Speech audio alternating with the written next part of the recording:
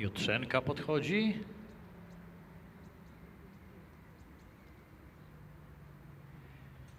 I ruszyły. Równy start. Do przodu przeszła księżna śniegu, ale chyba na razie nie będzie obejmować prowadzenia tak zdecydowanie. Nie, jednak ona obejmuje prowadzenie, dyktuje tempo. Na drugiej pozycji galopuje Not Now. Not Now, blisko niego Krab.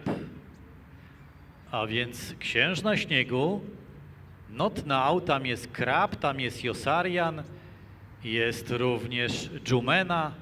Stawkę zamykają Jutrzenka oraz z tyłu galopuje Tudul. 1600 metrów do celownika.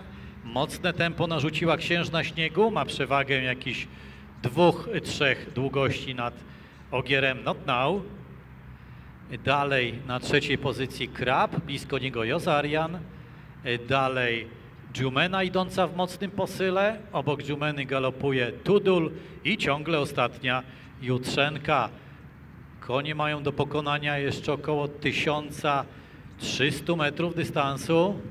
Ciągle pierwsza e, księżna śniegu, ale już jej przewaga zmalała. Na drugiej pozycji jest w tej chwili Krab, tam także blisko galopuje Not Now. Weszły już w zakręt, już są blisko pół zakrętu. Nadal księżna śniegu, przy niej galopuje Krab, to jest czołówka. Na trzeciej pozycji Not Now, dalej Jozarian, jest tam Dżumena i ostatni galopuje Tudul.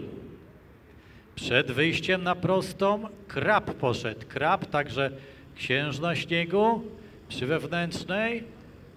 Środkiem toru Krab. On już dostał bata, ale próbuje atakować. Wyprowadza na prostą.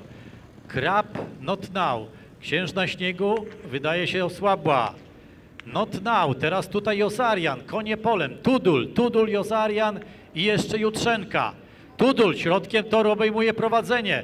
O dalsze miejsca zacięta walka. Tudul zdecydowanie prowadzi. Josarian wysunął się na drugie miejsce przy wewnętrznej.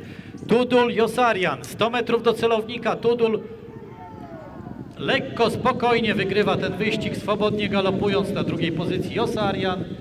Dalej Dżumena, Jutrzenka, Not Now, Krab i teraz kończy Księżna Śniegu.